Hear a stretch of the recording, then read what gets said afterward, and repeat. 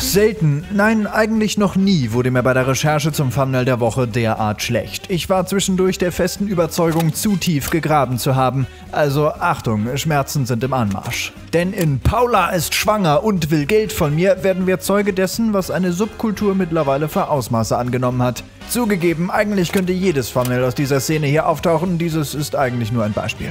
Aber fangen wir vorne an. Zunächst einmal, hinter diesem Thumbnail verbirgt sich, logischerweise, ein Minecraft-Video.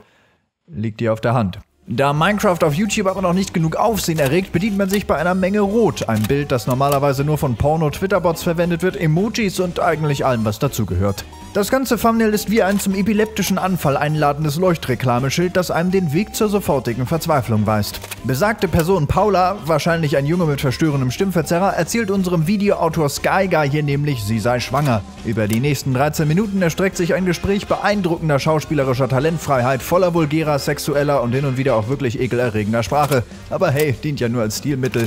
Paula sei eine 15-Jährige, die sich regelmäßig und lautstark auf Minecraft-Servern prostituiert. Skyguy und seine Freunde hätten damit nichts zu tun, sie profitieren nur von ihrer Skandalösität. Das Prinzip ist klar, durch Skandale und Kuriositäten Aufmerksamkeit erzeugen, andere, fremde Personen den fragwürdigen Kram sagen lassen und selbst immer wieder einwerfen, wie moralisch verwerflich das Ganze doch ist.